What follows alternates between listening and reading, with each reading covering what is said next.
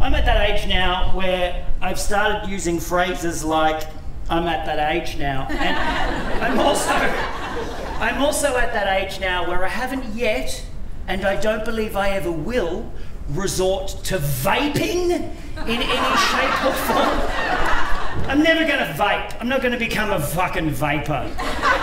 It just feels like a betrayal to all of those sweet, sweet cigarettes that I smoked throughout my life. Like, if you used to smoke cigarettes and now you vape, you're a real piece of shit.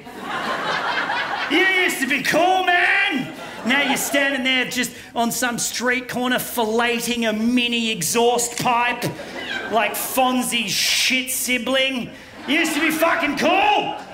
I remember the glory days of smoking. This whole room will have been full of cigarette smoke. We all would have stunk like shit, but we didn't care because we were fucking cool. There would have been ashtrays everywhere. You couldn't move for ashtrays. Now you can't fucking find one anywhere. Spare a thought for the ashtray manufacturers.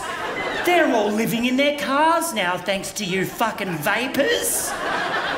And it's not just the ashtray people. What about the people that make matches? Hmm, hmm, hmm, Spare a thought for the companies that used to print nightclub logos onto those little books of matches so that grizzled old homicide detectives could fish one out of the pocket of a corpse and know where to start looking for the killer.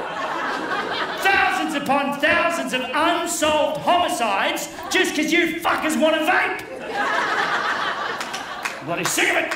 Thank you, solitary clapper. Just one person, yes, I agree, but no one else does, so I'll shut up.